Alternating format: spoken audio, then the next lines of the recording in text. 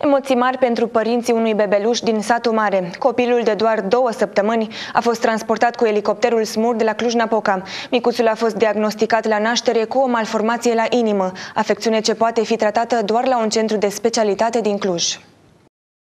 Copilul s-a născut la spitalul județean din satul mare. Încă de la naștere, medicii au observat că are probleme la inimă și împreună cu specialiștii din Cluj-Napoca au monitorizat în permanență starea de sănătate a micuțului. Este vorba de un copilaj 3 kg 300, născut la începutul acestei luni, nu este născut azi, ieri sau așa, care are o malformație congenitală la cort, s-a luat legătura în permanență de când s-a născut cu personalul, cu medicii de la clinica de pediatrie din Cluj și asta a decis transferul acestui copil la clinica de specialitate din Cluj-Napoca.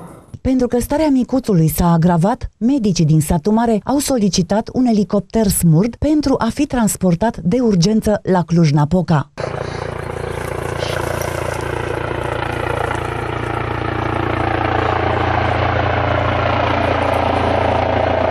Bebelușul se află acum sub stricta supraveghere a medicilor de la clinica de pediatrie din Cluj.